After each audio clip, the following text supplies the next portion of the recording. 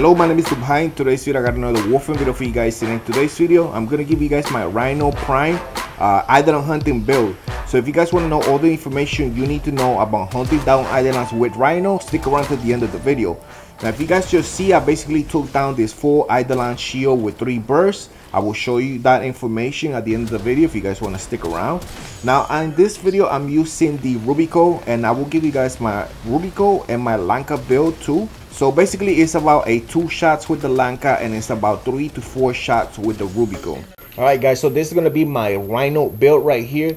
So for the aura, I went with Deadeye. Basically gives you 52% damage increase to your sniper rifles. I only hunt down Eidolons with the Lanka or the Rubico Prime. Now for power strength, I went, uh, it has 348. It basically all the power strength mods that you could fit on here. Now I also have 650 armor and this is important here because I still see a lot of uh, rhinos going down in Eidolon hunting. Is because probably they don't have that umbra fiber on there.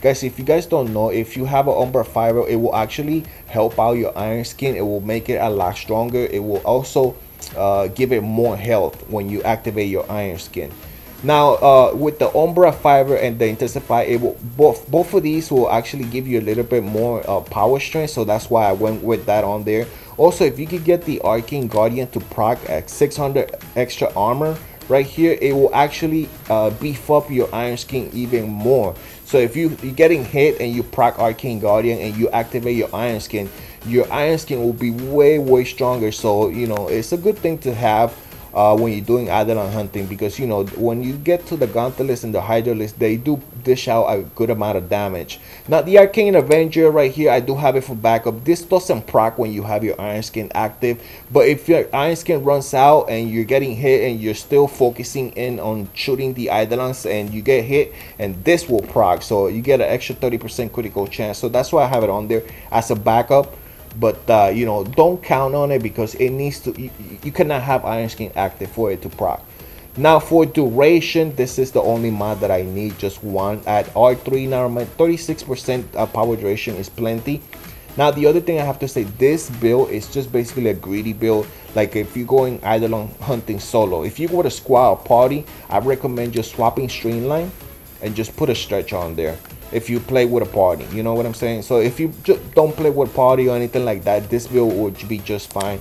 But swap it for a stretch there you go. For party if you want to party up or you got you play with your clan or your alliance and stuff like that with your friends there you go. Just swap the the stretch for streamline and there you go. Now I will show you the mods right here or the numbers. So basically with this uh, build you get uh, 32 seconds on roar, uh, power duration, and the damage increase is 174 percent so it's a very good maximum damage that you could do. And like i said this is with the uh, umbra fiber. It gives you 9800 ferrite armor for your basically the health or the iron skin. But this is without counting the uh, arcane guardian that i mentioned. So i think with the arcane guardian i don't know exactly the numbers. It could take it up to like 13 or 12,000 something like that. I'm not sure. Don't don't quote me on that but uh, this is going to be my Lanka build right here, just in case you guys wanted to see it. I have a pretty decent riven. Uh, if you use the Lanka, guys, I recommend you use the Vile Acceleration. Uh, it gives you 90% uh, fire rate and less, 15% less damage. That that really isn't all that much uh, when you have a 15,000 radiation damage. So there you go. That is my Lanka build. Now I will show you also my Rubico build because that's actually what I'm using in the video. So I use the Rubico build right here. This is what it is. I do have also a pretty decent riven. I seen way better, but uh, this is all I got for right now. The best thing about I like about the Rubico Prime is that it has 95 percent damage uh, uh, the critical chance is 95 percent so it's way way better you really do need that critical chance when you're doing uh, Eidolon hunting now for my equipment, I went with Magnus Elevate. Basically on transference, you get 75% chance to restore health. Basically, you know, you give health to your warframe if you're getting hit. So Magnus Elevate and Magnus Vigor. If you guys are wondering how come my operator has more health than usual, it be, it's because I use Magnus Vigor. Right here, basically on when you transfer out of the warframe, it gives the operator 200% extra health. Now for the amp that I use, I am using this one right here. It's basically a 333. These are the parts right here, in case you guys are wondering. The prism, the scaffold, and the brace right here. Now the other thing is the arcane that I use on my amp is the Virtuous Fury right here. Virtuous Fury is what it is, it's an on status effect. You get a 20% chance to do 30% extra damage for 4 seconds. Now with this right here guys, you're always procking status with this amp. So basically you will have 30% extra damage increase. So this is a very good arcane to have in my opinion. Now for the uh, school I use Madurai basically the most important mod right here is this one. This is the one that it helps me uh, take down the Eidolon shield in three 4 single bursts. You guys saw that at the beginning of the video. It says only in void mode the next eight attack deal 12% additional damage for every second spent cloak. So basically what it means is the longer you stay invisible the more you will stack up your damage multiplier. So basically when you saw me at the beginning of the video i was invisible for like two and a half minutes about three minutes. I was invisible about about three minutes. You want to get the combo multiplier up to 20 stack it up up to 20 and then you're good to go. You could uh, full uh, take down the full Eidolon shield with just one shot three bursts.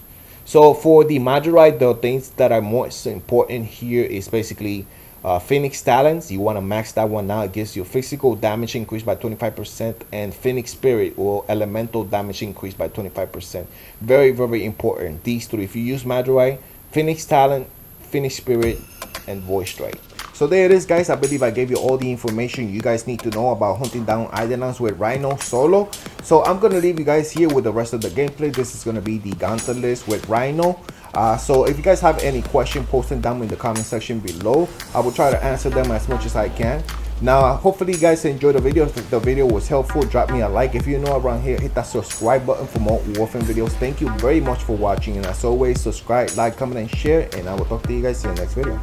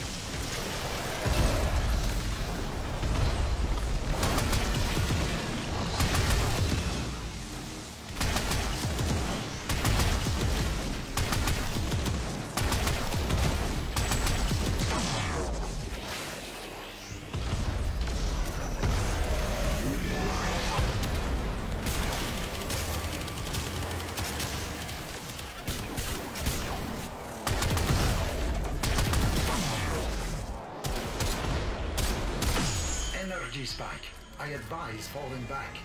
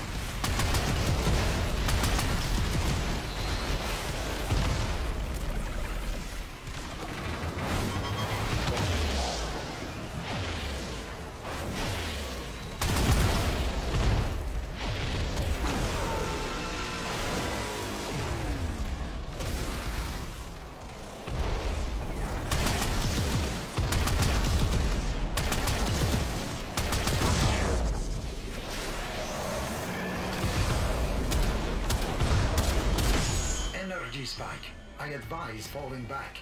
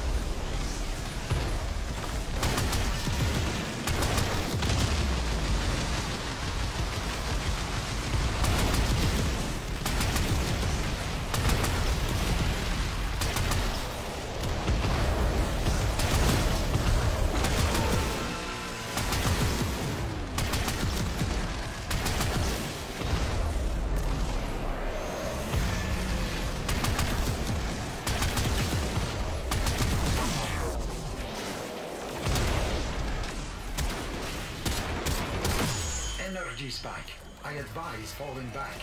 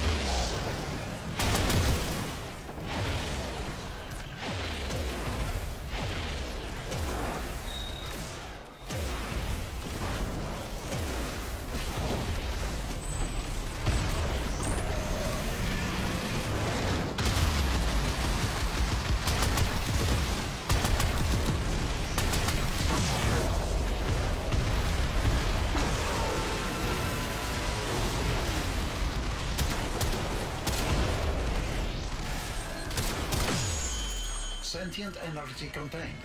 You are closing on victory. Act now.